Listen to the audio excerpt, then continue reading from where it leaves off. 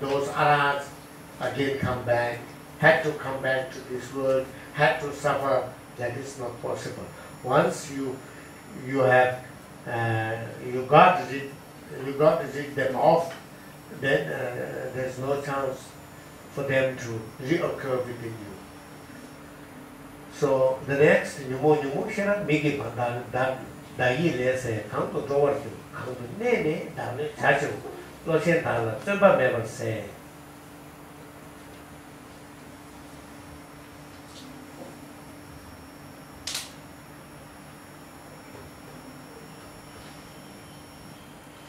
So, uh, where is it? 46. Thank you. 44, 45, 46. Uh, based in my mind, where might it go once cast out? Where might it stay and work towards my destruction? I make no effort simply because my mind is dull. The, the defilements are weak, weaklings to be subdued by wisdom's glare. 46. The other translation. Deluded, disturbing conceptions when forsaken by the eye of wisdom and dispelled from my mind. Where will you go? Where will you dwell? In order to be able to injure me again. Weak-minded, I, I have been reduced to making no effort. Mm, no effort. Okay. So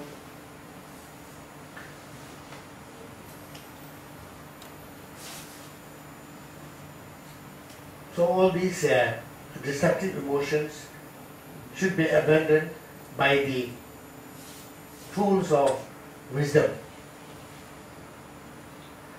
Once you've done that, then where they go, they, they, they are finished. They stay in your mind. They, if they're there, they have to stay in your mind.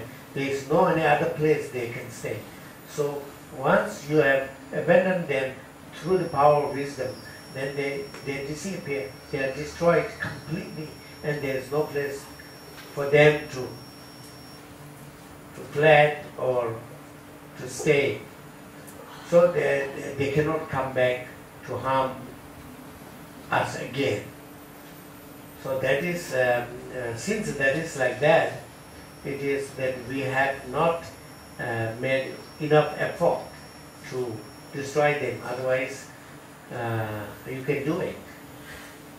So the wisdom here means uh, the wisdom here means uh, the understanding of emptiness. That is the wisdom part.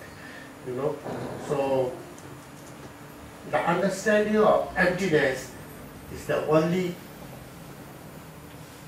missile to hit directly the delusions.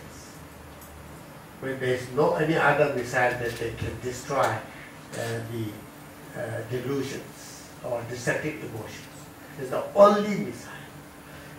But then you might need help, you know, to carry out the missile, you know, rocket or whatever, I don't know.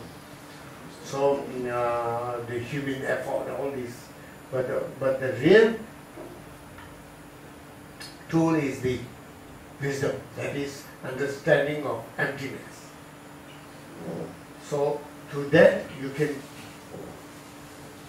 demolish all your destructive emotions.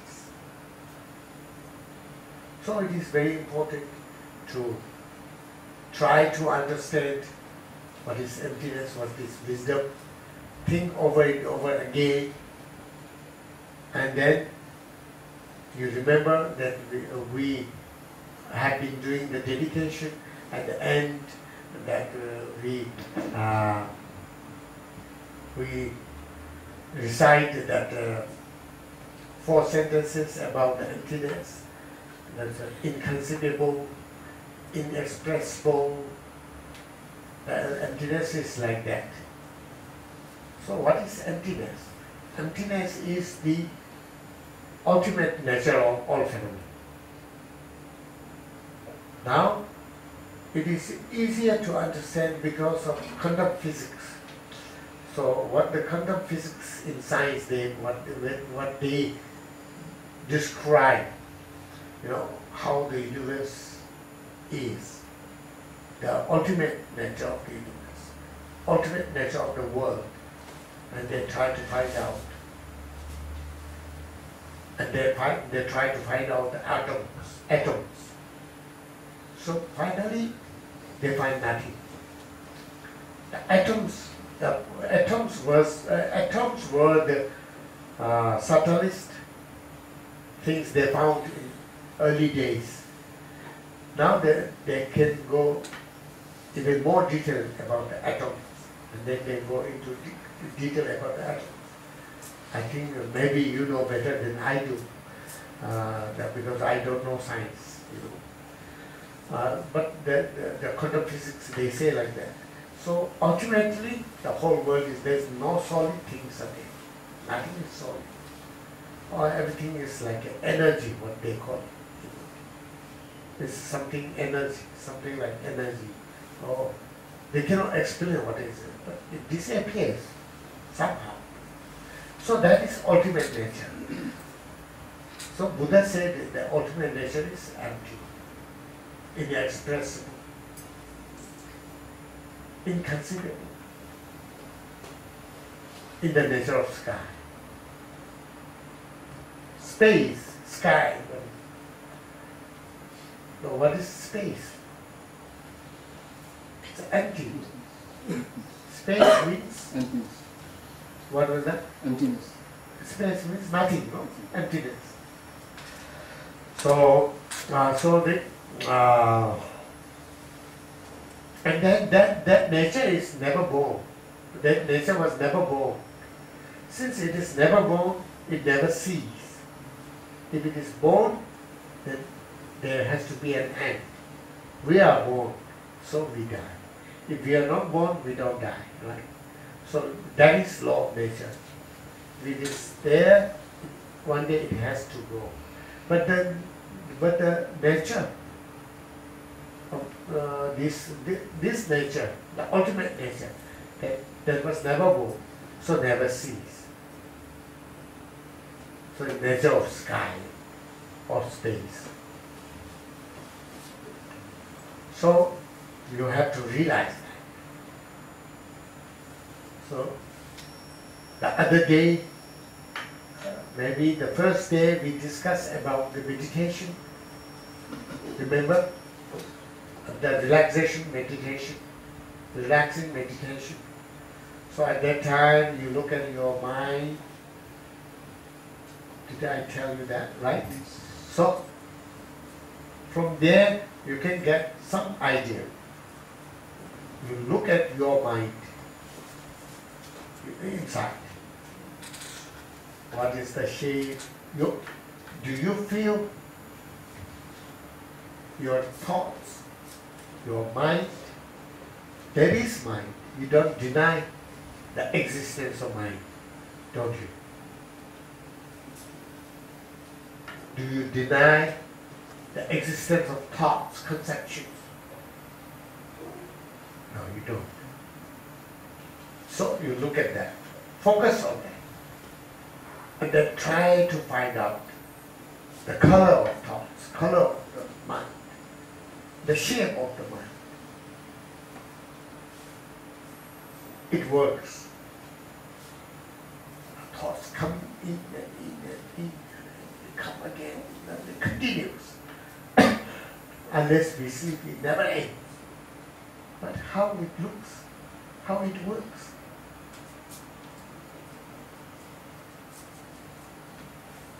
When you look at into it, it goes like this. Calm, quiet. That is relaxation. That is not a real meditation, but the relaxation. And I think this is a very good relaxation. Five minutes a day.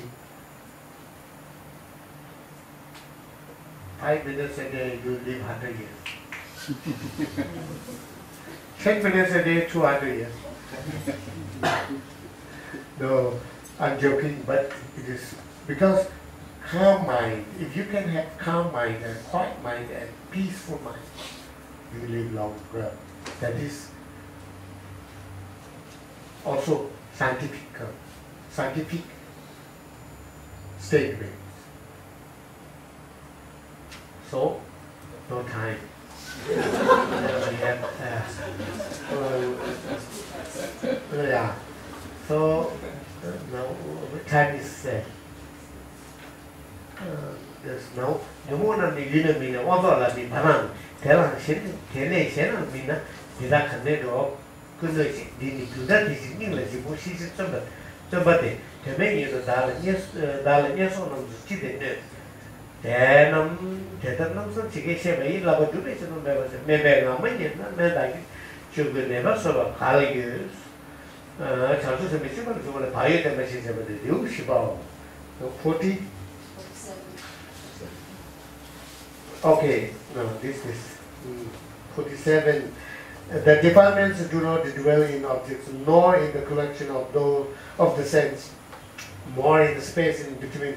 There is no, no, no, nowhere else for them to dwell, and yet that churn up the entire universe. This is but illusion. So hard. Free yourself from fear. Devote yourself to start striving for wisdom. Why quiet needlessly do you torment yourself in hell, making a firm resolve in this way? I shall strive to follow the training as it has been taught. How can someone who could be cured by medicine get well, get well if he does not follow the doctor's advice? Uh, 47, right? Uh, the, the adjective uh, translation. If these disturbing conceptions do not exist within the objects, the, uh, the sense organs between the two, or nor elsewhere, then where do they exist and how do they harm the world? They are like an illusion. Thus, I should dispel the fear within my heart and strive res- resolutely for wisdom. For no real reason, why should I suffer so much in hell? Therefore, having thought about these this well. I should try to put these precepts uh, into practice just as uh, they have been explained. If the doctor's instructions are ignored, how will a patient in need of a cure be healed by the medicine? So that is end of the chapter, and uh, I presume you understand. Uh, uh, you understand, right? So, uh, so you must, uh, you know, the, the final, the conclusion is that uh, you must uh, contemplate over the explanations that he has given, and you must uh, uh, try, try your best uh, to uh, fulfill the training and uh, because if you don't uh, listen to your uh, to the to your doctor and then it is difficult to be cured. So so we are suffering from uh, the uh, uh, destructive emotions the di- disease of destructive emotions. So we have to listen to the buddha's advice. And so that is, uh, uh, so this, uh, uh, where are those uh, destructive emotions? They are not outside over there. They are not in the faculties, our faculties, and not in between. And and then where are they? So it is like an illusion. It is there, but it is like a, like an illusion. So we don't need to be scared of these. How, how these are very destructive. These delusions are very destructive. They, that, that uh, they have been destroying me right from the beginner's time. So you are, you get you can get scared, but you don't have to get scared because if you try to find out, you cannot find that. So it will be uh, it will be disappeared. Uh, so so so that is how you analyze. So you try to capture the ultimate truth, ultimate nature of the destructive emotions, and then that's it. You will destroy them. So that is um, uh, the fourth chapter that we uh, we had uh, we somehow did it. And uh, uh, so now this is the last mm, uh, discussion on this holy book uh, for my district. So hope to continue with uh, this uh, teaching next next time. So then uh, now we should do the dedication of the prayer. So we'll say when we say prayer, so Chantu Simdom, the, the, the, precious bodhi mind, which are not yet born, may they be born, and which are already born, may they increase, uh, and which are uh, damaged, they be, may they be uh, restored, and uh, uh, then uh, which are which are in which are bodhicitta, uh, which are intact, um, they may they increase infinitely. That is the first uh, our prayer. So we must, uh, we might have, because we are discussing a holy book, we have been discussing uh, the Buddha Dharma, and we have uh, uh, we have produced some kind of, at least some kind of aspiration towards the altruistic mind, bodhicitta. So somehow we have collected some amount of merit, so we must dedicate them. So we dedicate for the uh, increasing of bodhicitta mind, and then at the end, the inexpressible wisdom, in, uh, uh, inconceivable, uh, sky, nature, and so forth. You know that uh, I explained earlier. So, uh, so that had the ultimate nature, that Buddha, destructive emotions, constructive emotions, uh, virtuous actions, non-virtuous actions, the practitioner, the Dharma, what you practice, the, the Buddha, the teacher, and all phenomena. Ultimately, their nature, ultimate nature of them is empty, emptiness. So your merit is also in the nature of emptiness.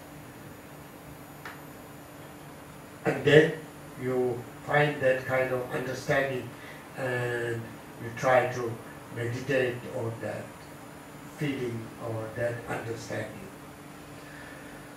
So, and then uh, finally, of course, uh, I'm very happy to meet all of you and all the members of NCC and National, no, not National, Durbushuri uh, Center, all the members and the other participants. And we have been seeing each other for uh, many years. And uh, I'm very happy to see all of you again here this year, year 2018, and uh, I'm very happy to meet again Uh, this, I'm very grateful to Geshe-la and our monks from Key Monastery. Uh, so for everybody, I will pray to have a good life, happy, happy life, joyful life, long life, successful life, and overall, most important is meaningful life. Okay, so uh, that meaningful life means what I mean meaningful. I always use this. I try to use this to to give to my friends. I'm sorry now, the time is over. Uh, five minutes, okay? Uh, so I always try to tell my friends, I wish you a meaningful life. So I'm trying to give a hint. You can, you can trans interpret in many ways. But my meaning is that good practice of Dharma, that is meaningful. The others or everybody is doing, so can, can be meaningful, can be meaningless, you know. So the meaningful life, what I meant is good practice. So very meaningful life, ups and downs, that is part of our life, that we must learn that. And uh, sometimes we are sick, sometimes we, we are happy, feel, feel quite energetic. Sometimes we become rich, sometimes we can become poorer. So sometimes people like you, sometimes people don't like you, dislike you. All these have ups and downs in our life, and that is always there with everybody, not with us only. Oh, you know, everybody.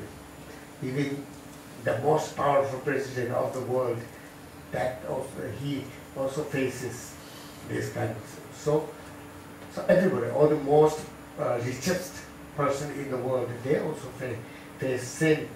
Maybe um, maybe they don't starve or something like that, but still they have you know problems, problems. they don't get fulfill their wishes because they don't find the wish fulfilling joy, you know. So, so, uh, so that is there. That is not a big deal. So you should try to understand that, and you should try to ignore that, right?